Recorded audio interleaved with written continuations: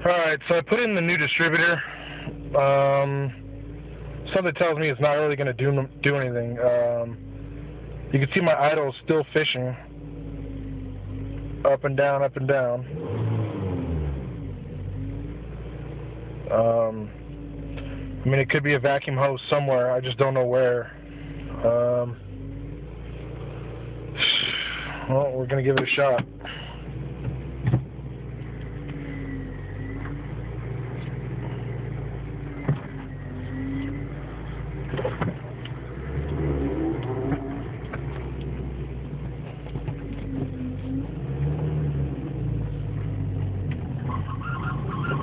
Still doing some kind of squealing noise. That's not. It's almost like the throwout bearing or something in the clutch.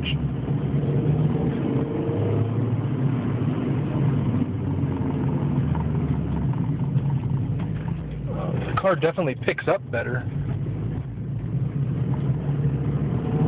Definitely has more pep already.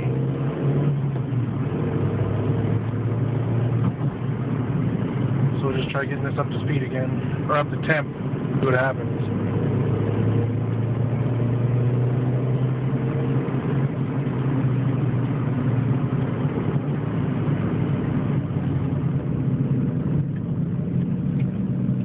And there he goes. Fuck, man. this shit is fucking frustrating.